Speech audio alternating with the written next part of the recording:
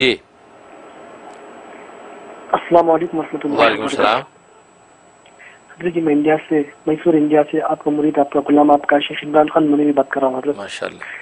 जी अ, असल में मुझे ख्वाब अर्ज़ करना था हज़रत जी। हम्म, अ, वैसे तो हज़रत जी खत्म बुखारी शरीफ में आपने जिस उन्वान से तकरीर की बयान दिया था अल्हम्दुलिल्लाह सारे इकराम के बयान से तो हमें नूरानियत मिली लेकिन आपकी बात में और आपके बयान में जो दर्द था अल्लाह की मोहब्बत का अल्हम्दुलिल्लाह हज़रत जी ऐसा कोई आशिक नहीं था जिसकी आँखों से आँसू ना निकले हो अल्हम्दुलिल्लाह हज़रत जी, अल्लाह ताला आपको जज़ाए खैर दे हज़रत जी ख्वाब ये है कि आप मस्जिद नबवी में तशरीफ़ फरमा है और आपके हाथ में बुखारी शरीफ है और आपके दाएँ जनिब हज़रत हाजी इमदादुल्लाह मुहाजिर मकी रहमतुल्लाह अलैह तशरीफ़ फरमा है और आपके बाएँ जानिब आपके फर्जंद फ़र्ज़ फर्जंद नस्बती मौलाना सैयद फहद हुसैन साहब भी तशरीफ़ फरमा है और आपके सामने जो मजमा है, वो हिंदो पाक और दीगर ममालिक के बड़े बड़े इकराम है, जी मशहूर मारूफ इकराम है।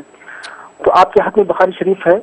आपने एक अजीब बात फरमाई कि भाई, हज़रत हसन बसरी रहमत ताला के पास एक कीमती चा- चीज़ थी, जो एक बाद दीगर मुंतकिल होते हुए हज़रत रशीद अहमद गंगोही रहमत के पास पहुँची। मगर पता नहीं आज वो किसके पास है। फिर मेरी आँख खुल गई, हज़रत जी। बस ये ख्वाब अर्ज़ करना है। मुझे जज़ाकुमुल्लाह खैरा अल्लाह अकबर, इमरान मुनीरी आज तो आज अपने बिल्कुल रोंगटे खड़े कर दिए। क्या ख्वाब बयान किया है?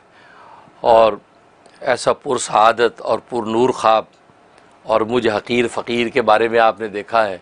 और ऐसे मुबारक मकाम में कि मस्जिद नबवी में, और जैसे आप बता रहे मेरे दाएँ तरफ़ जो है, वो हाजी इमदादुल्ला मुहाजिर मक्की अलैह जो मुंबई मुंबई इल्म रूहानियत है, सारे चश्मे वहाँ से जारी होते हैं।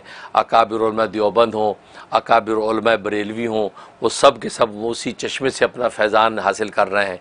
और ये पूरा सिलसिला हिंदो पाक के अंदर जो है रूहानियत का उनके वजूद से फैला है। माशाल्लाह, वो मौजूद सीधी तरफ़ मौजूद है। और उल्टी तरफ़ जैसे आप बता रहे हैं कि मेरे दामाद और मेरे जो है वो फ़र्जंद नस्बती मौलाना सैद फ़ाद हुसैन मौजूद हैं। और फिर मजमा हिंदो पाक का मौजूद है। और बुखारी शरीफ मेरे पास और मैंने जो बात कही कि वो नस्बत जो है हज़रत गंगोई तक पहुँची है, आगे पता नहीं किसके पास है। तो माशाल्लाह ये तो अजीब आपने बशारत दी हमारे लिए कि सबसे पहली बात तो ये कि हमारे ख़तम बुखारी शरीफ की कबूलियत का इशारा है कि अल्लाह तबारक व ने हमारे उस जलसे को कबूल मंजूर फरमा लिया और उसमें जिन जिन की भी हाज़िरियाँ हुई, किसी भी हवाले से उन्होंने मोहब्बत का इजहार किया है। अल्लाह तबारक व उनको ज़बरदस्त शरफ़ कबूल अता फरमाएँगे। इन दुनिया में ही इस शिरकत का इनाम वो ज़रूर पाएँगे। और बाकी कि हाजी साहब का दाएँ तरफ़ होना, उनके कस्ब, उनके फ्यूज़ और बरक़ात मेरी तरफ़ मुंतकिल हो रहा है, मुझे नफ़ा पहुँच रहा है।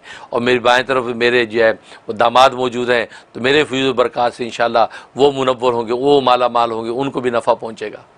इसे इकराम मौजूद हैं। माशा मेरा फैज़ान जो है इल्म मार्फत का हक्कानियन के अंदर भी इन पहुँचेगा।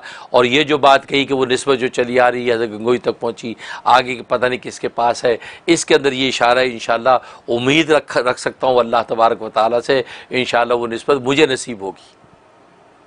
वो इन नस्बत मुझे नसीब होगी इन वो नस्बत मुझ तक पहुँचेगी। अल्लाह तबारक वाल मेरे सीना मुनवर को वो वसत अता फरमा दे कि उस आली नस्बत, उस जो है, उस आली नूर को जो है बर्दाश्त करने की ताकत अता कर दे और मेरा इल्म फैज़ान पूरे आलम के अंदर आम हो जाए।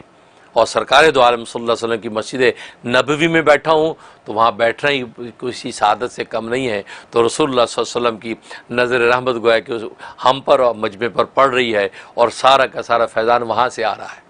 अल्लाह ताला मुबारक करे इस ख्वाब को और अल्लाह ताला जो है इन बुज़ुर्गों की नस्बतों की कदरदानी की तोफ़ी था फरमाए। और जैसे आपने फरमाया, आपने मेरे उस बयान और दस, दर्स जो है उसको अप्रीशिएट किया, उसको भी अल्लाह हकीकत से बदल दे। वाकई अल्लाह तबारक बता इल्म अरफान के अनवारा से हमारे क़लूब को मुनवर कर दे। आमीन। या रब्बल आलमीन। जी नेक्स्ट